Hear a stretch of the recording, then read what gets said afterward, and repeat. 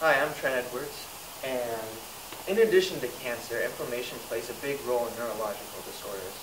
For example, in depression, interleukin-6, TNF, and C-reactive protein were all present in patients with depression, and anti-TNF treatments have been shown to improve the mood of depressed patients.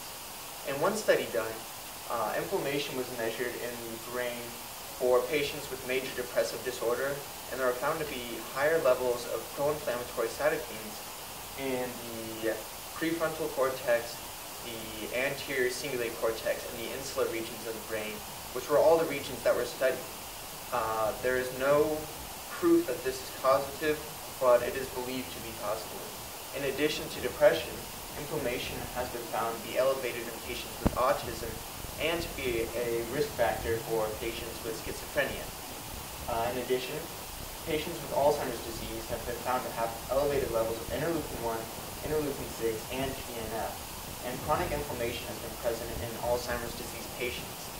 In one study done, uh, inflammation was studied to see if it preceded amyloid plaque deposition, which is one of the telltale signs of Alzheimer's disease, and it was found to precede the amyloid plaque deposition, which would suggest a causatory effect.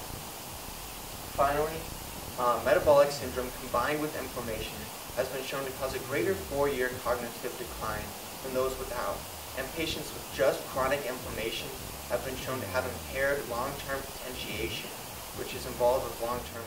Hi, Erica.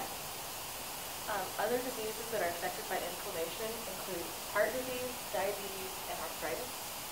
In heart disease, elevated C-reactive protein increases your risk for obtaining heart disease. And TNF, IL-6, and C-reactive protein are all elevated in heart disease patients. In diabetes, IL-1, IL-8, and TNF assist progression. And elevated IL-6 and C-reactive protein indi indicate type 2 diabetes. Type 2 diabetic patients often have high vascular inflammation.